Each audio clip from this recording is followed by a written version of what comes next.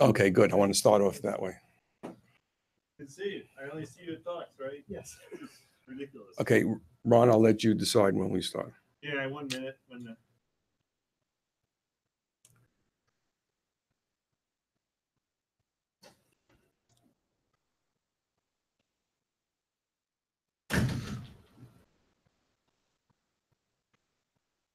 A bunch of people going to Dublin. I'm sorry? A bunch of people. A bunch of people in our little project are heading off to Dublin Oh. for a hack session. It's like, okay, that's pretty fun. Never seen it. Okay, I think the live stream's going live.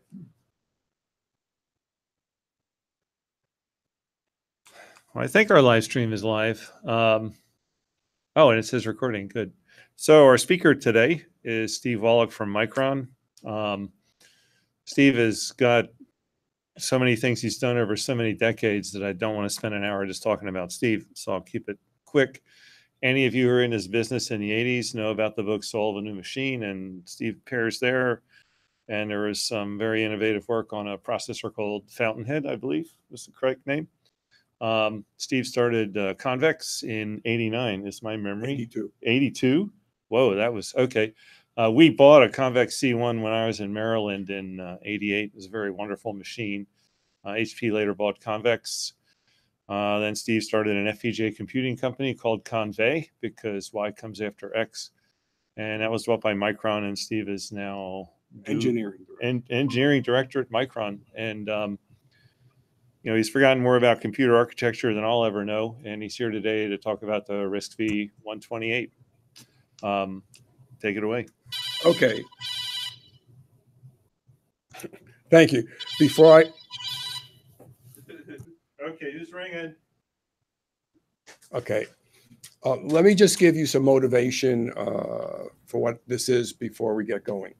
And also, I would encourage you, if anyone has a question, please stop. I like this to be as interactive as possible. Um, for a long time, I've been thinking about referencing memory. What does it mean? As something other than uh, physical address. Um,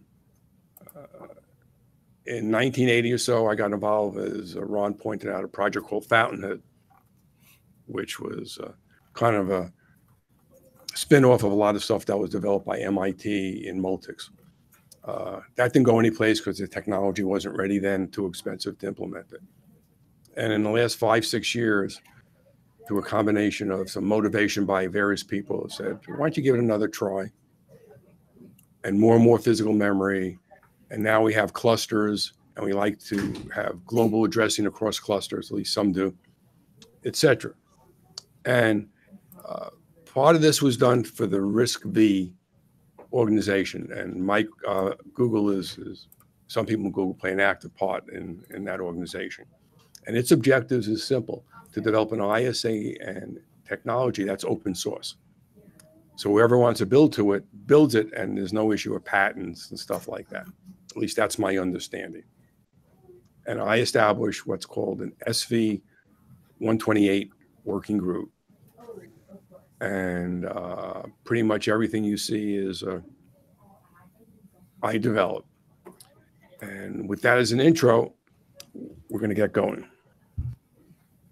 Okay. Um, I like to walk around. I hope that this picks it up. I have a remote thing. Okay, the presentation's in actually, uh, there's four parts to it.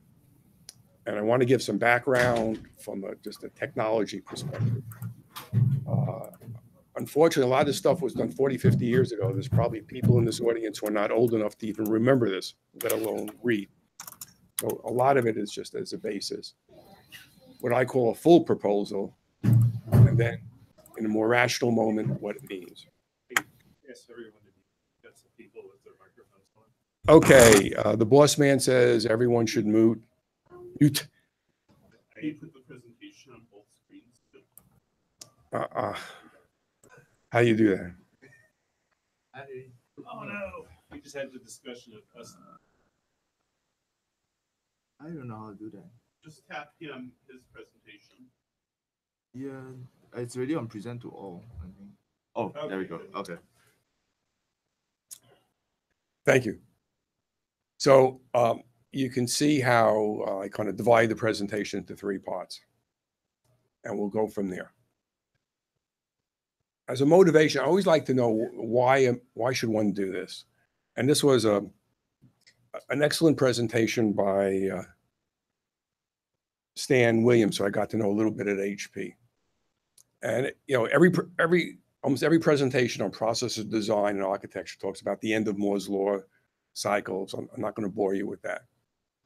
But what is interesting is where the model of compute was an upper right. I'm sorry, I can't, whi- whi- which is uh, more processor centric. And it's really moved to a more memory centric view. That is meaning this is an open architecture, and these are the various ISAs that surround it. So it will be heterogeneous computing. That's another pictorial way of gener- of heterogeneous computing. And if one wants to achieve that, let's assume this is desirable. Well, you want pointers to pass pointers back and forth. And we kind of have a de facto pointer in this business also, in the sense right now a 64-bit byte address numbered from right to left. Almost every architecture that anyone uses has that particular pointer.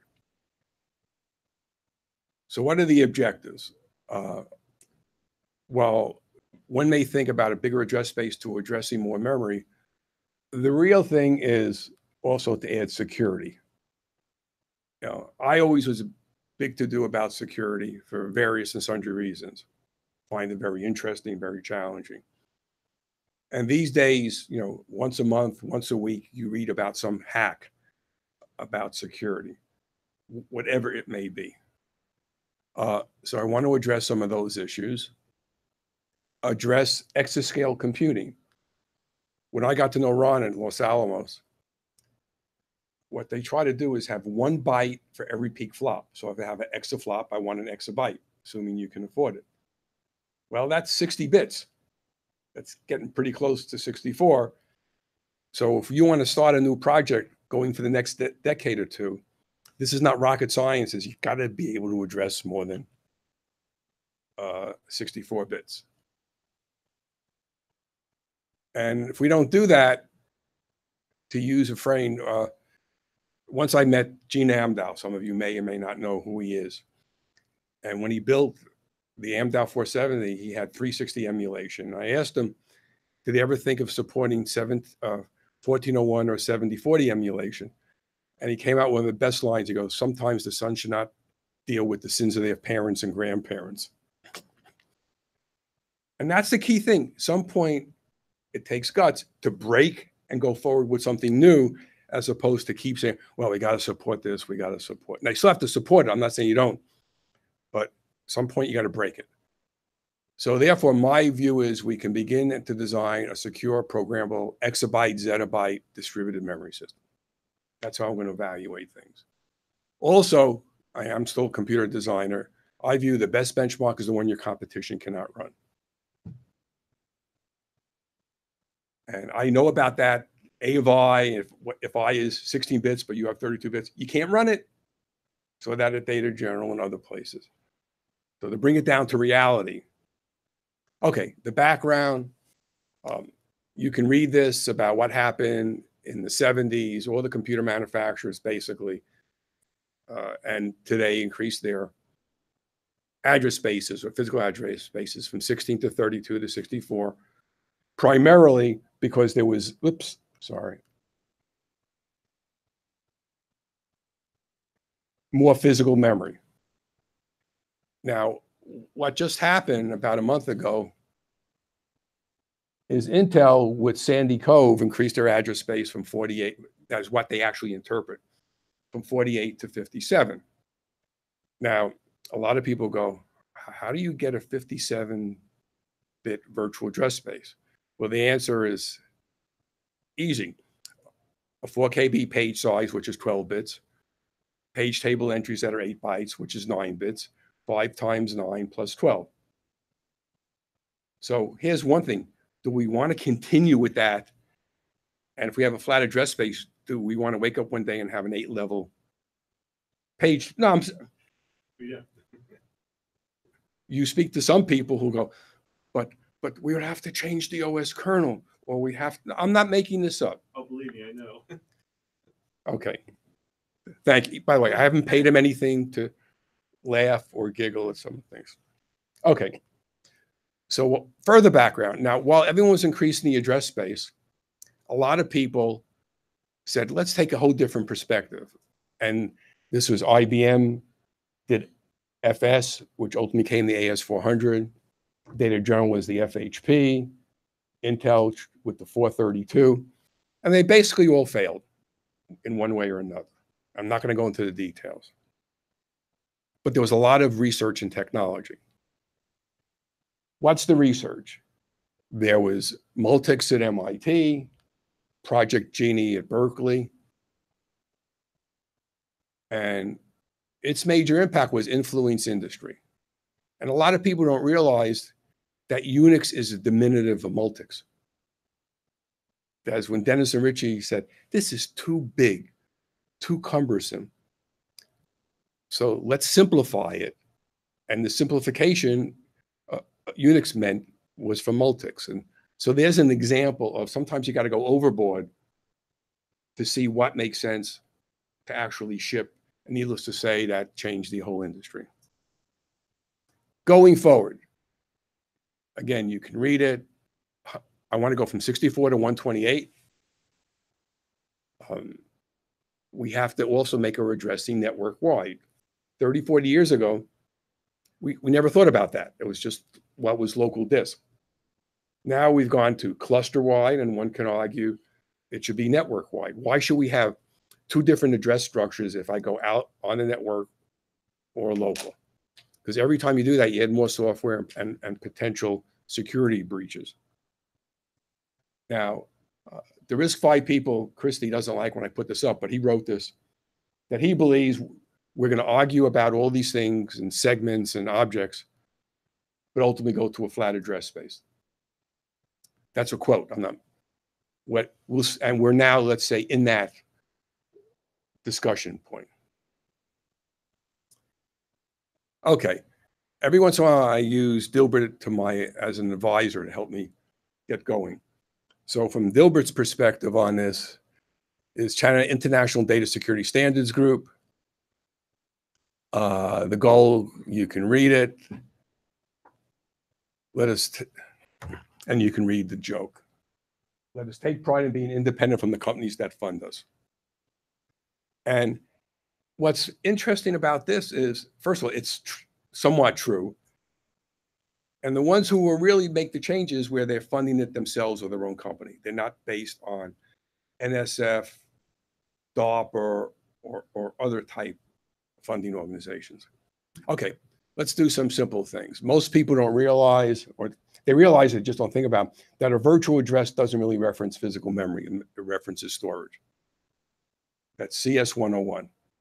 That's why in hardware we have things like TLBs, etc. Uh, network addressing is already 128 bits. It's IPv6. Give credit to the communication guys. They took the big step and uh, it's there. We actually live in a world of uniqueness. MAC and URLs are unique, email addresses unique. We have a global phone number system. But we have two different addressing structures, whether it's local or global, and please take this the right way. Every time I see more software in the systems I design, it gets slower and less secure. This is from a hardware guy. So what if we can have one unified structure? So let's see what that means. Foundational basis, you can read this. Um, this is from a paper published in 1971 by Butler Lampson, who was you know clearly one of the was deserved a lot of credit for establishing the basis for security research. So here we have these objectives we are just as relevant today that were established 50 years ago for all practical purposes. Other foundational basis, again, I'm not going to read it. Probably the most interesting observation is that the objective of security is to prevent unauthorized use of information, a negative kind of requirement. Usually we think of a positive type of requirement, not a negative. You can read it again, and also validity and authenticity is required. And this is again a paper from 1975 by Schroeder Saltzer, and the two of them together at Multics. You know, this is considered probably the most seminal paper, you know, broad-based in, in the area of security, et cetera. Okay, previous efforts. Uh, this is from IBM. It was actually took some effort to get that paper. It was inside an IBM library, and a friend of mine used to work at IBM was able to get it. I mean, it's it's not confidential or anything. It's just it's not exactly available if you don't know the right people. And they created some notion of uniqueness. Here's some references, some patents that I've been involved with. Capability is another version, Fabry in 1974. And of course, that's what the ARM people are doing, you know, with Cambridge and stuff like that. CHERI will talk a little bit about that. The IBM paper, for those who want it, is this one. It's very, very interesting. They, that actually was what FS was supposed to be before they canceled it. Okay, more contemporary Opal came out of uh, University of Washington, and they established. I'm, what I'm trying to do is give you some reasons for doing this, as opposed to just saying, "Here you go." That's very important. Notions of persistent pointers, you can read that 64 bits is not good enough if you want it for all global network. So unfortunately, a lot of people are still looking at clusters of phones. You know, a lot of their motivation is not clusters of systems. And a friend of mine taking this one step further, maybe it's now clusters of watches. So a lot of the effort is on this guy for a lot of the software rather than necessarily server class software other than Google. Since I'm equipment, let me make sure I say that. Okay. Here's now, if I was doing this from scratch, I would do 128 bit address space, tell you what the uh, instructions are. And then this leads, once I got this out of the way of what it means to go rational, to just use 96 bits day one. The reason it's 96 bits is my Unix kernel guy say the current version of Linux at the kernel basically has a 96-bit virtual address space of proc ID VA. So it knows how to deal with that. It takes all the all these process tables and moves it into a system-wide table. Uh, I see some nods. So that's how I move into it rather than with a sledgehammer, but gradually. So logical address space is 128 bits. Object ID byte offset. This is always the most controversial thing. If it's if one wants flat, that doesn't exist. So the question is, do we want to bifurcate the address space? And there are good reasons for both. I'm not saying there's no good reasons. But lately, even within the Linux world with something which we call Kaiser, they're beginning to say for security, you really have to bifurcate the address space. Object ID in 128 bits is unique, and we'll talk about how we get there. Indexing is A of I. I is 64 bits. But each operand could be an object. So it's not like you're limited.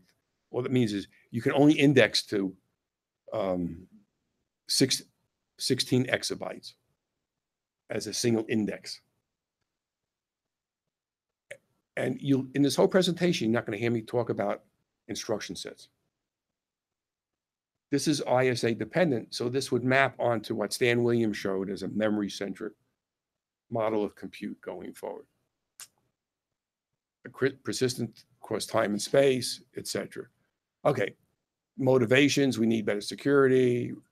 We need computer virtual addressing to reflect contemporary uses.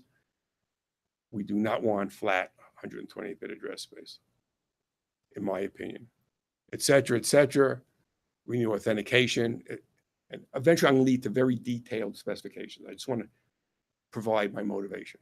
What's a name? An object can be an application, a database, a store, a PGAS node. So to the extent I understand the way Google does things, you have all these millions of nodes, but you have some sort of pseudo global address space to go from one node to another. So the, here, you would put this in the hardware, not just software interpretation. And you have languages which today support it, like UPC, et cetera. People always say, is 64 bits enough?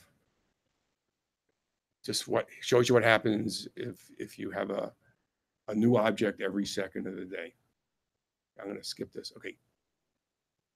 Before I get into the details now, each object has its own memory management structure in terms of page table, hash industry, indices, etc. What that means is when we'll get to this when we do hypervisor, virtual machine management, one object could be a page table, one object could be hashed, and depending on the object, you choose which one is appropriate. And it, memory management protection is independent. There's no protection bits associated with memory management. Each object also does bounds check. And we'll talk about how that manifests itself. Protection in the unified namespace, you have to have ACLs, access controllers, protection domains revocation. Now, I'm not claiming this is unique. I'm just saying these are the steps that if you're going to have an integrated system you want to have. So an ACL is basically a matrix where you have source name, target, and domain of execution. And then that determines what protection you have inside. So in a true glorious 128-bit address space, you have this table with hashing 364-bit numbers, etc., which is very cumbersome it's not clear. It's you, you, you need it. What we want to do is this define spheres of protection, non-hierarchical, emphasize non-hierarchical, unlike rings. Some of the things, permissions, uh, I'm going to show you how I do all this thing and what I'm really proposing. One of the things that's important is to mediate system calls also. As I may bring something into my object, in, into my system, a.out file, that makes a system call that it shouldn't be made. So it's not just read, write, protect, but other things, etc. Okay, authentication. It's unique over time and space, yada, yada, yada. I want to get to what I'm really, to the real thing. Okay, this is just using an application. Let me, I want to, okay. The other thing, and I get into the details, is I want to provide hardware support for sandboxing. So when I bring an application in, the user can determine what accesses it had and can restrict it. The principle of least privilege. Revocation, and this is where we'll ultimately get into capabilities versus uh, domains. Uh, no matter how you, whatever the protection mechanism you have, you want to provide a way of revoking it. If it's table-based, the kernel goes to the table and flips a bit if it's a capability, you have to have some way in memory of saying capabilities are only in this space and not in other space. And they, they tag bits. So this is what was done initially in Fabry, and at least the last paper I looked at from CHERI, that's the way they did it. They separate the address spaces. And this is a quote right from Fabry where they tag memory this is called the partition approach to separate what's a capability. Okay, so I went through all this. I got it out of my system. Now I'm ready. When am I going to lay gates? And when I mean lay gates, if someone said, put a plan together, start designing in a month, they'd have that done. Uh, we gratefully thank our parents and grandparents, and we want a second chance. So here's the second chance. Okay, here's the current proposal. So this is actually based on SV 128 for RISC-V. And there's a working group. This has been published in there, etc. So RISC-V defines this notion, and I, this is literally right from the ISA spec, that they have user, supervisor, reserve, machine, or hypervisor. So they want the architecture to make sure it works in that in those at least three protection structures. So what I just, so I'm trying to do is to say what makes sense with a bigger address space, but also maps the Linux kernel to some degree. Without, without saying, I give up and not going to do anything innovative. So first of all, I create four domains, not an infinite number. And the four domains match to, to that.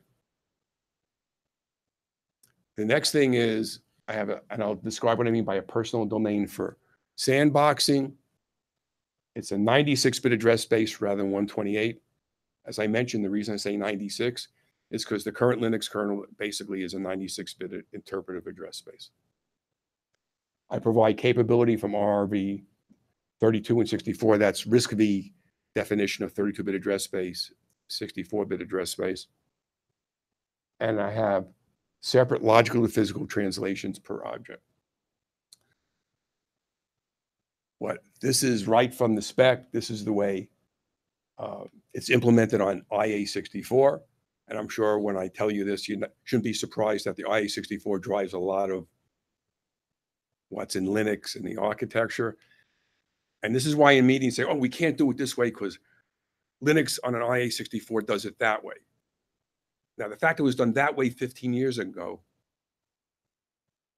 I'm not saying it was the right decision 50 years ago. It's not sure it's the right decision today.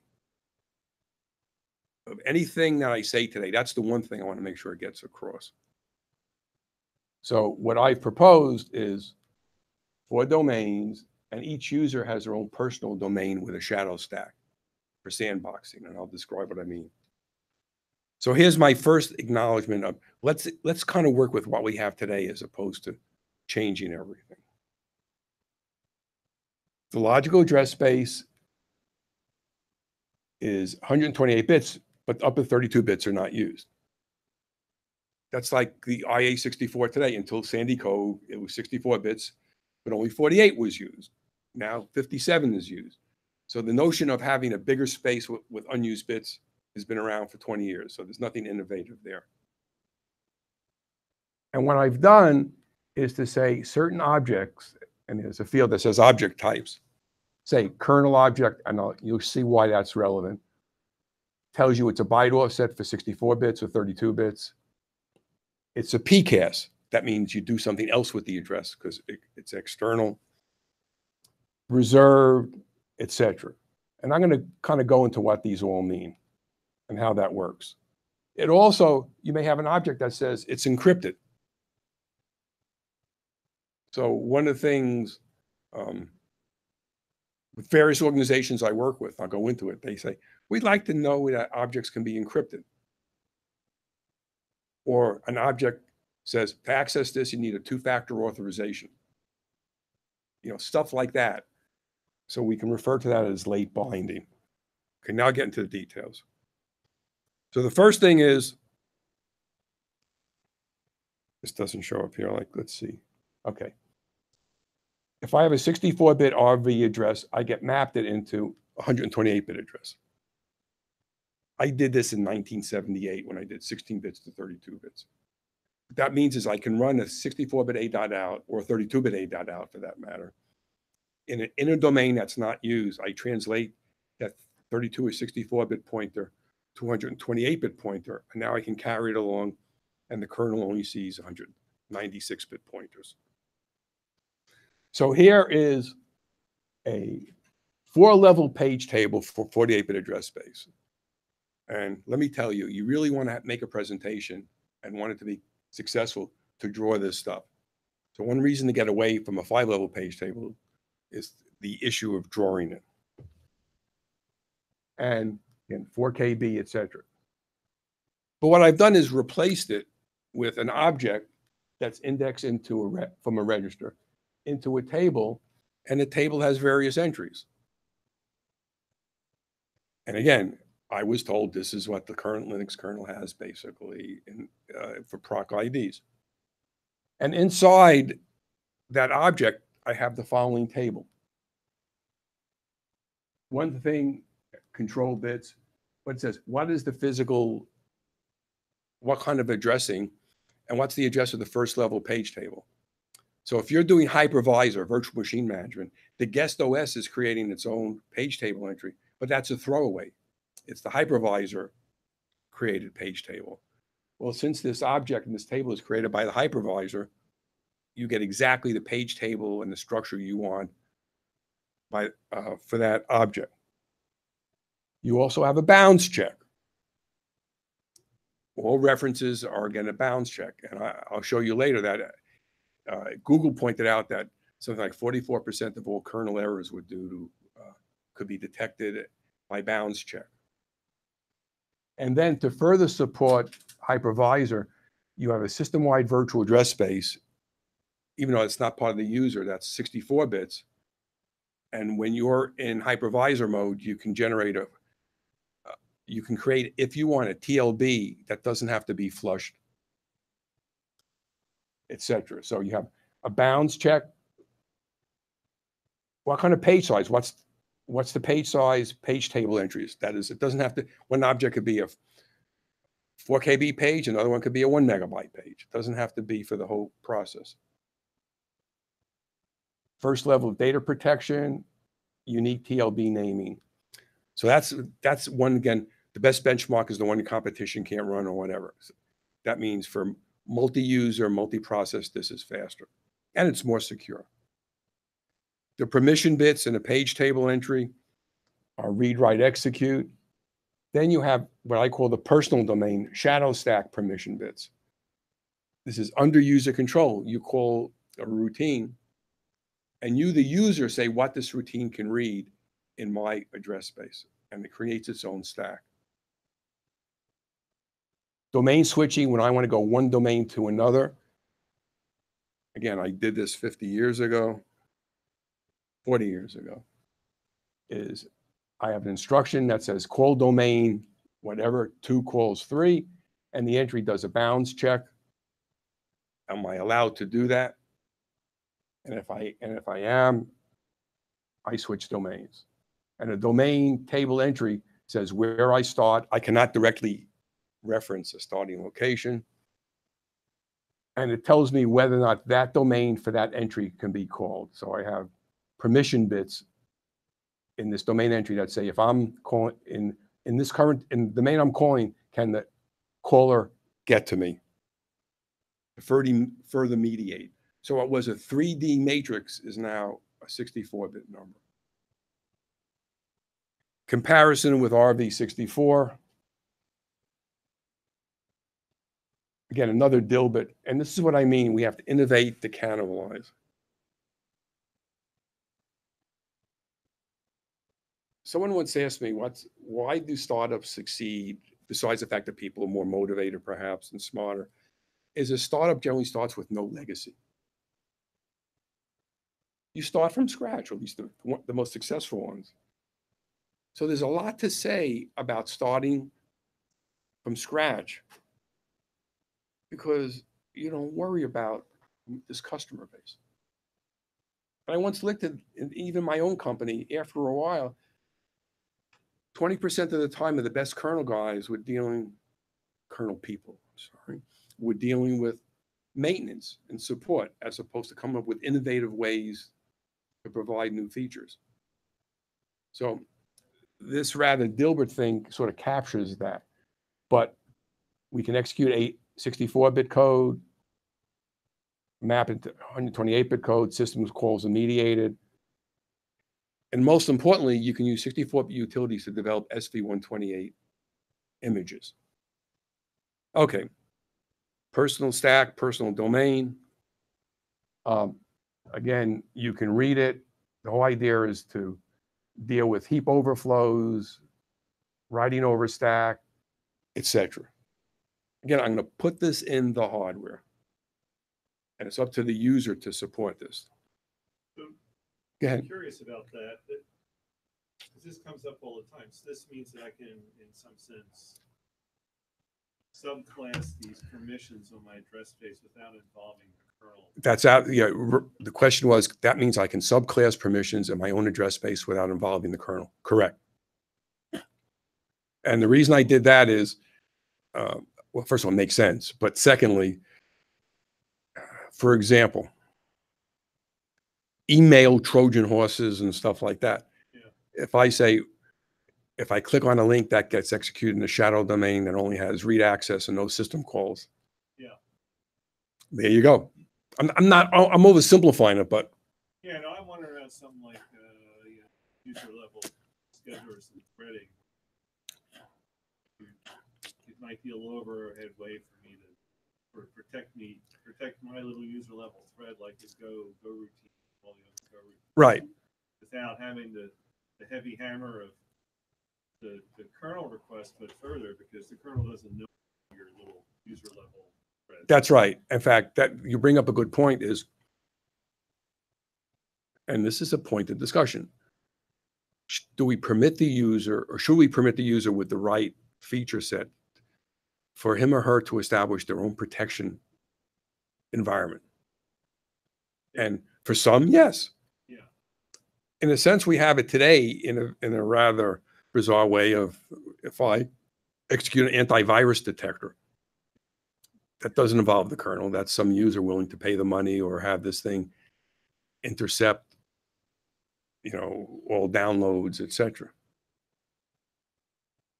But you know, that but that's correct. So anyway, this is a pictorial of how the shadow stock works. The benefits. Now, what's the whole purpose of this? Logical address is 96 bits. The bounds check uh, there's a reference that 44% of all kernel, Android kernel bugs are missing or incorrect bounds. So that's one benefit, more reliable Android kernel. It's a system-wide TLB. You have direct support of PGAS-like addressing of across clusters. And you have a common virtual address of different ISAs. So I go back to the Stan Williams chart of open architecture, different ISAs sharing a common global address space. different question, because one, one thing I always liked about the data general AOS was that every virtual address in every process was unique, That's correct. whereas in the Unix model, we all have the same virtual address meaning a different thing. Okay, AOS is the data general operating system that was built on the MV8000 to begin with. And without getting to the details, I was part and parcel of the design and operating system because it was my hardware. I hate to say it that way, but it was. Yeah. And when we sat down with the people, with a group of about five people, we said, okay, we have to support 16-bit binaries on 32-bit. It's irrelevant. It could be 64 on 128, 32 on 64. We want to segregate out the address space because it's in hardware. It doesn't cost you anything. And since half the team there had come, were either come or influenced by Multics, it wasn't difficult to uh, make that argument. Now, I'm not trying to say that makes it good, but but A lot of the model we have today is driven by, the- literally by the limits of PDP eleven, right? That's Because correct. had have the same small sixteen bit range, whereas in this model, li- like I said, yeah, we don't uh, uh, uh, for good or for bad, and I'm going to say this again. If I didn't go through this before, I Yeah. couldn't have come up with, I won't say a simplification, but something that's rational. Yeah. Where uh, FS was irrational, FHP was irrational, Yeah, yeah. and uh, uh, say vie. But the, the other key point here is this, you don't need to flush TLB because you don't have alias virtual addresses. Correct. That's kind of the big point. And that is really a dramatic break with And the one, the, the model of Linux. Right. Inherited it from the model of Unix, which inherited it. and and the one thing I know a lot, a lot about is implementing hardware to support protection and virtual address translation. Yeah. To me, it's it's just rolling off my back. Sorry about that, but okay. No, so now we get down to current day, which has nothing to do with address space. You know, it all got started with Spectre, Meltdown. Uh, there was a very interesting paper uh, from uh, my, uh, Google that I reference uh, later on. And basically, this notion of microstate. That we have mach- programmer visible state, you know, instructions, um, registers. We have all this other state that the programmer doesn't see unless you're evil. And in the last six months have been a lot of talk about evil. Well, well, evil or not, let's just say doing things you shouldn't be doing. And I find this interesting because uh, sometimes in my spare time I do this for grins, and it's actually very easy if you understand hardware design and and if you're luck, lucky enough to know how to use a logic analyzer sometimes to look at bus transactions. So let's look at secure logic design. This is just as easily be applicable to an IA64 or any other machine. So the first thing we have is at some point we want to use formal method compilers. I want to make sure I say that. For all this hardware, if we write crappy code, garbage in, garbage out. And we should try to do development with formal compilers where they verify things and I provide a reference to that. The next thing is Linux came out with this called Kaiser proposal out of uh, University of uh, in Austria. I forgot which one. And it shows their solution to the notion of uh, Spectre. So let's see what this means.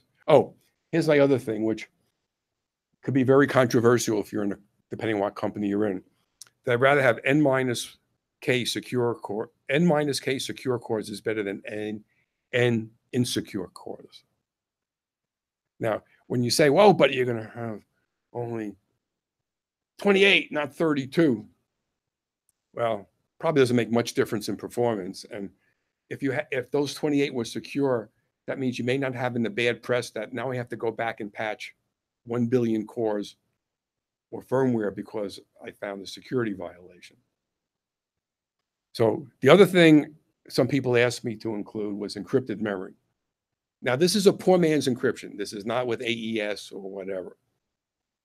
And what I did is by doing things with inversion and scramble, so it's easy to encrypt and decrypt in hardware.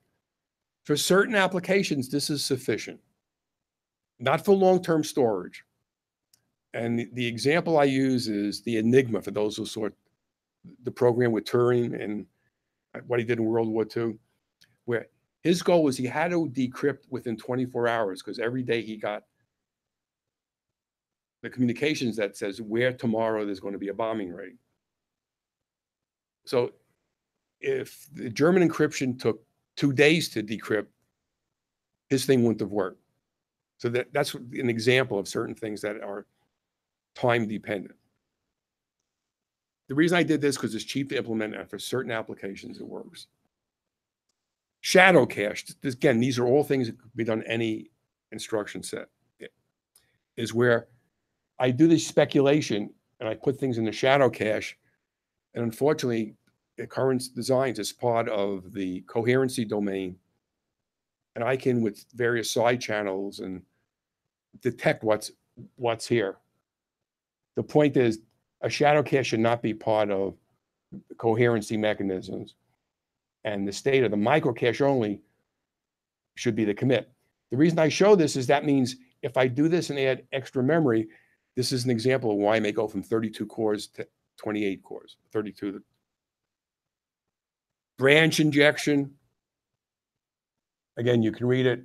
The way to handle this is create, like if I want to have a four level deep cache, create extra levels to do the speculation. And if I don't take the speculation, I don't change the original microstate. It always comes back to you do not want to change the microstate during speculation. I'm oversimplifying it, but that's common. Spectre, I took this from a presentation. This is sort of what started a lot of things off six months to a year ago. Again, you speculate. And the reason you read this is even though you're not supposed to, it's a flat address space. So unless you go to the page table entries, you don't know you're allowed to read it. That's that's the issue. And the key here is is this is what Kaiser did. They said, if what you're going to speculate is a, let's say, a different object or out of your address space, you don't speculate. You stop. You don't try to make something faster that's not necessary. And then the microstate, the Google paper said, if, if necessary, you want an instruction that says no speculation, not defense instruction. Meltdown is where you pass a bogus pointer to the kernel, where you, the user passes a, a pointer to the kernel that's actually a kernel pointer. And the reason I find this interesting is hypothetically in 1979, a couple of people may have done this to a VAX. And uh, because it was a flat address space, they didn't take that into account. It didn't happen on a DG equipment, thank God. But what this is, is I'm a user, I pass a pointer that's a kernel pointer. And if I don't check on it, I'm going to reference my own data set because I'm allowed to do it because I'm in the kernel. So um, again, you can read this stuff. Way back when we used to call it Trojan horse pointers, you know, from Helen of Troy. And today I call it beware, rather than beware of Greeks bearing gifts, beware of geeks bearing jits in a more contemporary manner. So that would be consistent with shadow domains. Summary, this is good time. This has to be compared to CHERI. They've done a lot of interesting work in Cambridge. It's a it's a capability-based system. Um, it's also a good summary of why you want a single address space in the paper that came out of University of Washington.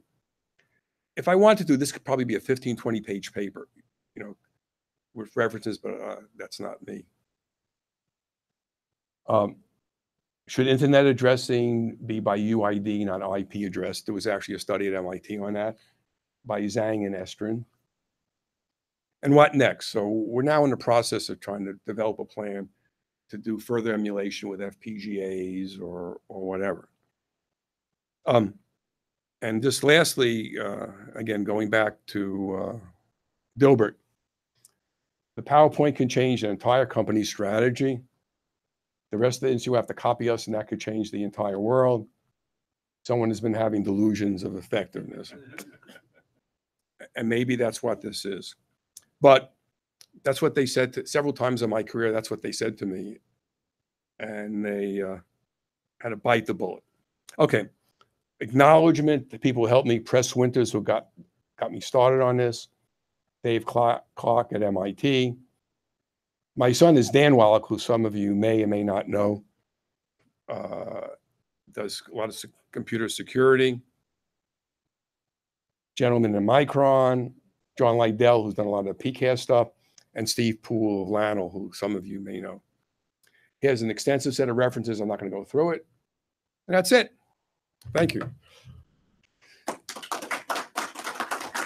So, people, please feel free to ask any question you like.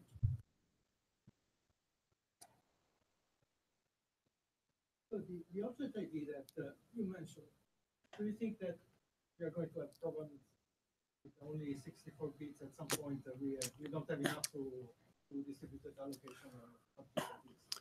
Okay, the question is, uh, do you think 64-bit object ID is enough? I thought about that. I mean, that, that's a fair question. And um, certainly, uh, th- just because the IPv6 people did that, because it's 64 bits, all that says is if I'm wrong, I'm wrong with a lot of other people who are a lot smarter than me.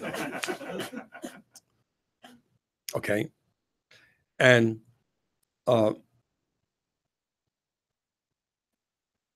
one can philosophize is how long is an architecture good for, whatever good for means. Typically, it's 20, 30 years. I mean, if, if you look at, you know, 16 bits to 32 bits to 64, IA32 when they expand expanded things, 20 to 30 years is kind of you know, comfortable. And I think in 20, for 20 to 30 years, that, that's fine. 20 years from now, maybe my granddaughter will come up with something else. But that's a fair question. And um, it, I feel I'm in good company, at least going, it's a power of two. You know, I'm not trying to. And yes, I've had people, this was one of the issues with FHP is it actually only had a 32 bit offset and 96 bit object because they felt, well, and it had other attributes. And I'm going, in that case, that wasn't someone else's design. I mean, design, we got there, but someone else made the suggestion. Very, very, very smart person. But I think for the next 20 years, 128 bits will solve the problems that we have. 64 bits came out nominally 95, 96, you know, depending on whether it was Sun or HP. Okay. And so that says it's 25 year, uh, you know. So I at least have a point for 25 years that lit, that lasted. Yes, sir.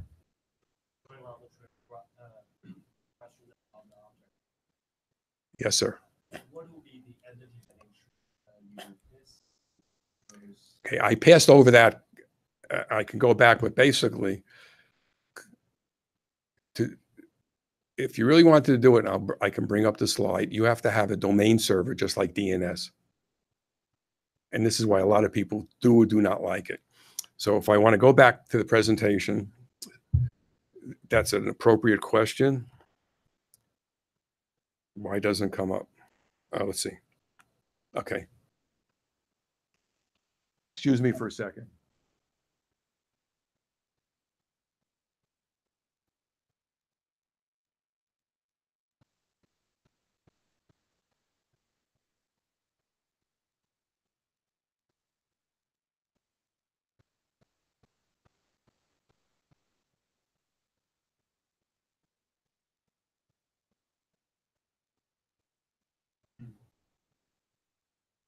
I went over because it scares people. but I, this directly answers your question. So think of it this way. We have a, a central unified unique server for IPv6, for URLs, for phones, right? The reason my phone number is unique is some organization up in the sky says country code zero one is the United States, yada, yada, yada. So we, we have an existence proof of those organizations, of that capability. So to create unique objects, there you go. So now the question is, most people don't even know that, that what a DNS server is. But still, um, does this, it still feel like the model is the natural door, uh, build it through the DNS server. This is only upon the allocation. Once it's allocated, you don't have to go back again. Yes. Yes, the question is, that means there would be a local cache to, to maintain the persistent created UIDs, if I can use that term. Yes, that, that's correct. And when I put this down, I kept going, uh, I'm not sure. Yeah, I, I have it, but I skipped over it because I know some people wait a second. Does that mean Big Brother's going to look at all my programs? Yeah. Yeah, yeah, I I know, I know. Yes, you're right. And depending on my mood of the day and who I'm speaking to, I either get, wow, that's great. We can do ABC. And no, no way, Jose, are we going to. And you under- you could probably argue among yourselves to see the pros and cons of that. But that, that's a fair statement. And that's why I said, let's drop down to 96 bits where at least I don't get into this argument. We have this online question thing. We do have one question. I, I sent you the paper, by the way, the question of references. It's Costius, I will say it wrong, Serebryany. Um, quote, uh, fat pointers is the long-term bet. They use too much RAM and don't solve use after free unless there is some additional mechanism for capability revocation. Can we have something sooner? E.g. memory tagging in sixty-four bit RISC-V. And he references a paper, um, that he had in ISECCon eighteen. And again, I sent it to you, so I thought you might wanna. Okay, well, look. Revocation, I did have slides on revocation. Is, okay, let's, I think I heard two questions, but if, if a pointer goes from 64 to 128, it uses more memory. I don't care, you know, if you can have an address, even if it's a flat address bigger than 64 bits, it's going to be 128 bits as opposed to 80 bits, in my humble opinion. And to me, this is, as Yogi Berra in New York, deja vu all over again. This is what happened when we went from 16 bits to 32 bits, 32 bits to 64 bits. In 1982, when we ported lit, uh, BSD to my first company, um, uh, Convex, there was all these issues of what's a 16-bit pointer, what's a 32-bit pointer, and in C, what's a default pointer size. And we, we have to fess up to it. The pointer's going to go up. Memory's getting denser and cheaper. This is not like you're going against the trend, okay? So again, this is where the Dilbert slide about breaking, you know, sometimes we have to be, go back. And that's why I, I say we have to have a, a way of doing RV64 binaries on 128 machine. So that's one part. The capability part, it's it's almost a semi-religious issue in the sense of yes, you don't necessarily need as many tables, but if I want to revoke it, I got to go find where this capability is.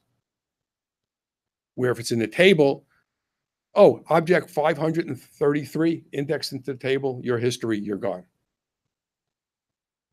Okay. And we could spend an hour, we could have a whole separate hour discussion on the pros and cons of that, to be candid, okay? So you said memory is getting bigger to justify the larger pointers, but it's not really getting faster. Or faster at size. Because I know there are some platforms where, for example, compiling in thirty-two bit mode makes benchmarks run faster than compiling in sixty-four bit. Okay, And I believe that's largely because of the reduced memory.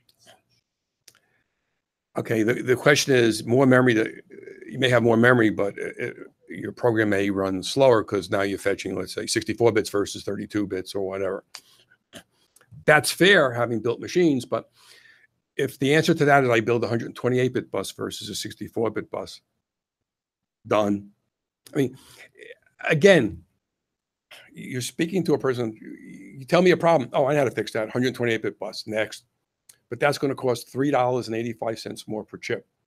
You want the capability or you don't want the capability? Yeah, all you have to do is be in a computer manufacturer. And this is all tr- this is true for all of them. You have a security bug, and Intel comes out and says, "Oh my God, we're going to make everything run five, per- whatever the percentage is slower, because we have to change the firmware or the microcode to deal with something." It's sort of you pay me now or pay me later. And um, uh, it depends on who you are. If you're producing an IO Internet of Thing chip that your concern is going to go from 50 cents to 55 cents, I'll buy your argument, okay? If I'm running my company on a $10 million cluster and I'm and I want it to be secure, I'll go to the 128 chip. Look at what happened to Experian. Facebook just happened. They didn't encrypt a database. What's it? What would it been worth to them if encryption was part of the inherent architecture, as opposed to someone forgot to do? Who knows what they forgot to do, but didn't didn't do something. That's what you have to think about. At least that's what I think about. But again, when I go back, we had the same argument going from 16 bits to 32 bits. We made the buses wider. We created the interfaces. Some people now say that we're going to go to optical interfaces, so we don't have this issue of 64 to 128 or whatever. And uh, I come at this of building supercomputers. And when I built those computers, that argument that lasted one second. What do you mean? We're going to make this thing as fast as possible. We're going to have 64, 120 bit data paths. And they want to they want to run the simulation in one hour. That's what it costs.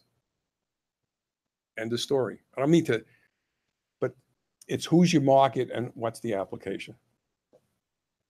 But that's a that's a fair question to ask. Okay, it's one more question or are we done?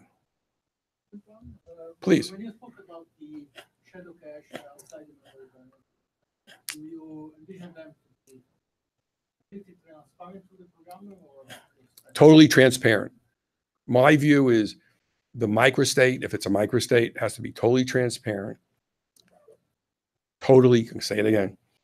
And the hardware has to have mechanisms that when that shadow state, I don't care for whatever reason, Spectre, meltdown, coherency, um, um, you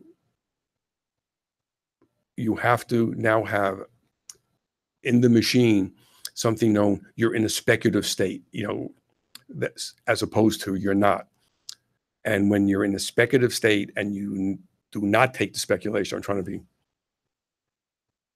you void it and then you as a manufacturer remember this is independent of the address space has to say do i want to increase my chip size by 5% i'll pick a number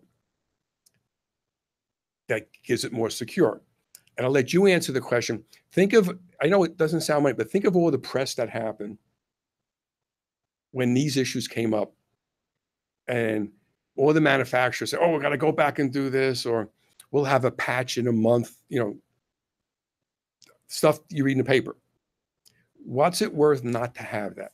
Then the flip side is if you're a company, like for example, we I can talk about Rowhammer. I work for a memory company. They actually put features there to that eliminate Rowhammer. So you can actually buy, let's say loosely for this discussion, a Rowhammer impervious DRAM. But if you're a bad guy, if you're a good guy and concerned about a bad guy, that that's a requirement. Okay. Okay, well, thank you very much. I appreciate the invitation.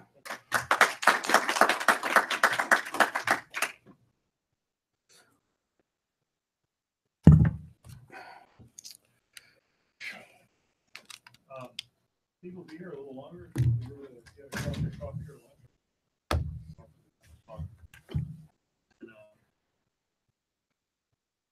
Cameron, I think that's it for the recording. Okay, well, thank you very much. Let me just shut this down. You have another meeting?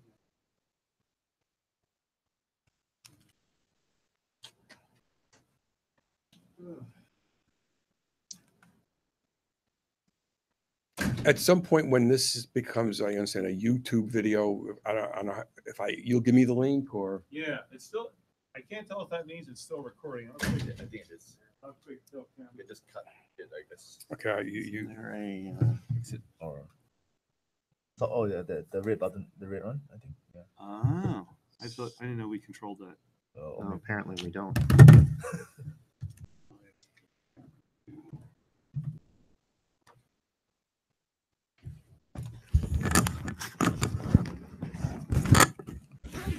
oh, we can just cut it. That's With the. I think it keeps